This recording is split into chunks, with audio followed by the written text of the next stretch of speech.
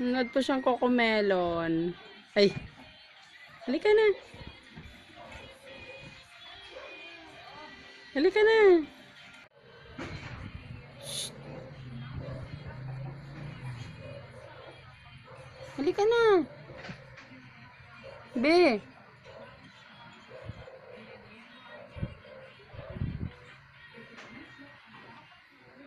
Ng kokomelon, kaya naghahalakhak siya pag meron siya nakitang ano. Hmm. Zane! Oh! Oh, marunong siya bumaba. hmm. Kulit niya talaga itong batang ere. Likot, sobrang likot. Kaya nakakulong kami. Nakakulong ko lang. Eh, clap lang. Hmm.